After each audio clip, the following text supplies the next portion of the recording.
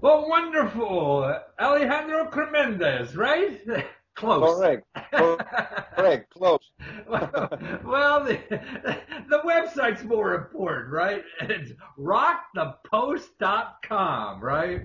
Absolutely. Uh, well, it, it's just a wonderful idea. I mean, anybody, I mean, you, you know, to, to help entrepreneurs in this country create new stuff, man, you're doing God's work. So how'd you start this thing? Well, we actually we founded the company in 2010. Um, I, whole time in this business. Yeah, it's been it's been quite some time. We actually we, we founded the company prior to even the word of crowdfunding being born. So um, so yeah, so we locked ourselves for about a year, and after one year of intense development, then we were able to finally launch the platform, which people can look up today, which is rockthepost.com. So we started operating on the donation model. Essentially, what we started doing was crowdfunding for startups, and we uh-huh. help the startups to raise money from donations from from people that they believe in the project or like their project or like the compelling story.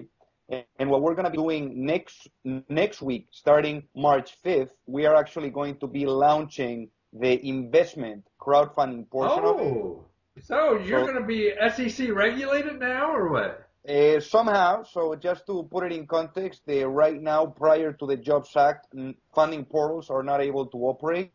Mm-hmm. So what we're going to be doing it is via Regulation D, and we're going to be doing it in partnership with uh, with Bendigo Securities, which is a broker dealer that is registered with FINRA. So that's the way we're going to be shifting now from the donation model to the investment model. So will you have both then on your site? You you could uh, donate to entrepreneurs and and get some you know whatever it is they're offering, or investment invest in other entrepreneurs and and have a piece of the action. Is that right? So the main difference between donation and investment is what you get in exchange for the monetary contribution. So um, before on, on the site that we've been operating since 2011, people would get the people that would give a monetary contribution would get a gift, a reward, let's say a T-shirt, a, a bicycle if, they, if they, it, was, it was a company that produced bikes. Uh, but now with the with the investment model, people would be getting a percentage of ownership in the company. Wow. So um, basically what we're going to be doing is the long-term vision that we initially had since 2010 when we founded the company was to do investments, but we couldn't do so due to the regulatory framework right. that we were operating with, and we were very restricted, um, very restricted with that. So uh, we are actually going to be dropping the donation and moving forward with. Oh, I see. So no more donations, huh? just pure investing in entrepreneurs and getting a piece of the action, huh? Absolutely. Well, there were say, two massive uh, gaps that we saw in the market. One for the entrepreneurs that were struggling first to get the financing, and then the second one for the investors. Uh, obviously, if you were trying to get uh, in, in front of a really good deal, if you were not Reid Hoffman or Ron Conway, there was no way that you could uh, do so because you need to be uh, somehow connected to any one of the funding members uh, of the uh-huh. of the startup. Otherwise, it's tough to to get in front of the deal. So what we're going to be doing now is that we are giving that possibility to get in front of very Everybody, high quality yeah. deals in front of everyone. Obviously now it's in front of the accredited investors, uh, which are the ones that are able to, to participate in, in private offerings in the U.S. These are people that are making 200,000 uh, in terms of a, a, salary on a yearly basis. But now with the Jobs Act, once the Jobs Act kicks in, uh, um, Title III refers to non-accredited investors to also be able to, to participate. So hopefully when that happens, 2014 or 2015, because there's going to be some delay, uh, then non-accredited investors will also be able to participate in private offerings. So uh, I lost a little bit of that, but in other words, your uh, investment funding section now is only for professional investors or for open market? Right now, it's only for professional investors. So uh, when we say professional investors, we say accredited investors. So it means that you're either making over 200,000 on a yearly basis in terms of salary, or with your spouse combined, it's 300,000 on a yearly basis, or you have $1 million in assets. Now, I mean, that sounds like somebody who wants to get a green card from another country being an, an investor in the United States. but this is just for investing on your site, right? This is for investing on our side, or if you want to purchase any type of securities on, on any other online funding post. I see. So that's the requirement now for being able to purchase securities on an online site. Is that what you're saying? That's correct. Well, if, if you want to be part of any private offering in the U.S., you need to be an accredited investor. I see. That's uh, due to the to the current uh, legal framework right. that we're operating. So the the Jobs Act uh, that was signed into law by Obama in April of last year, Right. what it really changes and amends is the laws that were established in the 1930s that Mhm. they essentially are the ones that we're dealing with. So once the Jobs Act kicks in, then funding portals will be able to operate without having to be a broker uh, dealer or uh, also non-accredited investors that are not making that amount of money, which is 200,000 or over, which is just 1% of the U.S. population, would be able to operate as well. Huh. So then, uh, and this is by when? Next year, you say? Well, the deadline of the Jobs Act, once the Jobs Act was uh, signed into law, uh, the Congress instructed the SEC to draft the regulations, Right. and the deadline was supposed to be January of this year, 2013. But with uh, all the changes in the SEC now, Mary Schapiro, the chairwoman, leaving, um, obviously there's going to be delays. Right. Uh, uh, we we expect that it's going to happen probably 2014 or 2015, but we don't see. My, my personal opinion, I don't think it's going to be a possibility in 2013. Yeah. So in other words, so soon it'll be open. I don't have to be a registered investor making 200 grand or uh, uh, to be able to invest, but that won't be a year. That's a year or two out. You feel? That's going to be once the uh, SEC again issues the regulations, and once the SEC issues regulations and non-accredited are able to be part of private offerings. There's also going to be limitations. So if you're making under 100,000, then you're only going to be able to invest 5% of your income. If I you're making over 100,000, the limitation establishes 10% of your income only to wow. Uh, now is that under the new laws coming, or is that the current laws? The the five and ten percent. that's the, law, that's the, that's the laws that are that are coming with Jobs Act, Okay, that's which that's introduces the, the non-accreds because right now non-accreds are out of the okay. So so now then you're right now. Are you doing the private investing or not? we're actually going to be launching this next week. Okay, next week. So- and so and to participate in that, I have to be a registered investor. And how do I do that? With the SEC or what?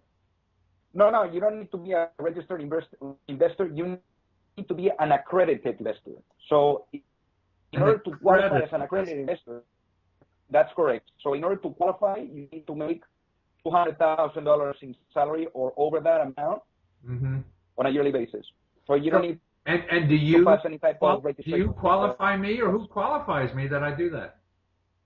Well, you would be uh, covering, you would be actually completing questionnaires that we have on our site, I and then also when you when you make the the investment on the or when you try to make the investment on the company itself, I see. Okay. our uh, our broker dealer partner would be doing a background check to, to make sure that you pass all the. So I don't have to go to some agency to get this recommendation. It's all done on your site. That's that's correct. Well, let me ask you another thing. Why is it different from a uh, if I go down my broker's office and, and buy stocks? Why why don't they check my income? Because they're a broker and buying from you is direct from the company versus a broker. Is that it? So the way it works really is that someone would come to us. We have um, high quality startups. So obviously, this is probably something that you might not be able to get anywhere else. Ah. And also, when, when you go and, Ah, and you participate and, and, and you try to get involved in those private offerings as a, you know, even if you're a startup, putting your offering or being an investor, there is certain background checks that you're going to, to need to I pass see. Right, order to, I see. to make sure So if you my broker, you, like you are now, I could be through your site. I, I could more likely get into the next uh, uh, Facebook deal, and not Well, having that's- to know somebody know somebody. That's that's correct. That's correct. Back in the days, in the offline investments, you needed to know someone that was involved with the company or with the deal, and and now you know you are. Ah, I see. So you're opening it up to more people, and so right now it's people with incomes of, of two hundred thousand or more that can participate on your site in that part of it. Are you keeping the uh, uh, the other uh, function going or not? You mean the donations? Yeah. the donations were dropping it because the donations gave us uh, the possibility to first to understand the industry of crowdfunding inside and out. Uh-huh. But our vision was always to get involved in investments. So uh, obviously now we're just going to be dropping it and moving forward with the investment. Okay. So, uh, so right now, so when we promote your site, then it's just to say, hey, you know, if you're a fat cat and we get it on the ground floor of some new hot new stock, this is the place. And you don't have to know somebody and, and be on Wall Street go, going to lunch with these guys to get it. Yeah. So I mean, it's just uh, as simple as coming to our site, seeing the deals, and you know, so self uh, certifying yourself as an accredited investor. Right. And then once that's done and you pass the, the background checks, then you can become an investor in the company. Right.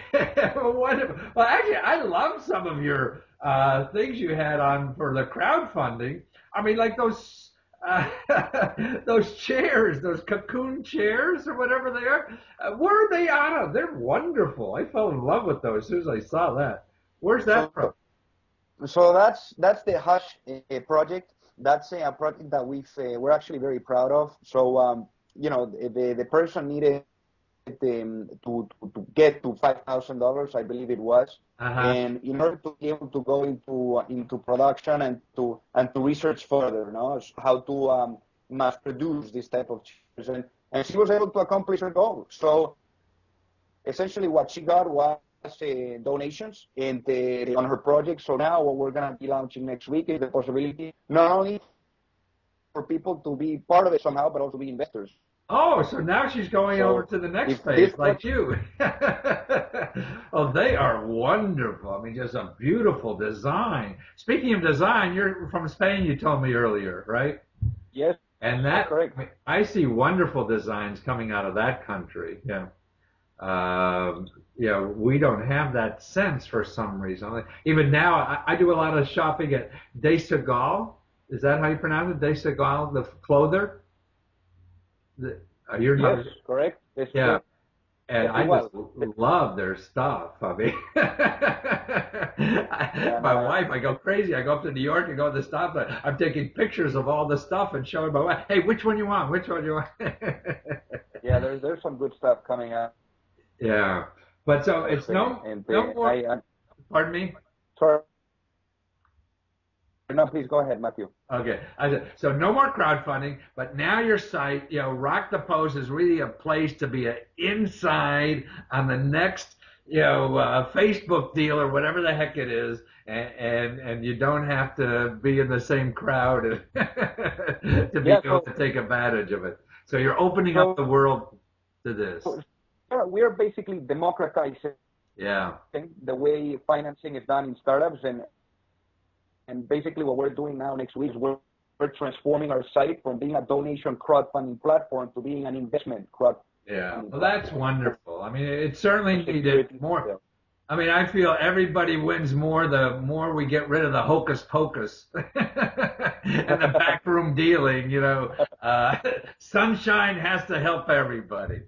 Absolutely, absolutely. Yeah. Well, thank you so much, Alejandro. Thank you for being there. It's a great company, and I love those chairs. Thank you so much, Matthew. It was a pleasure speaking with you.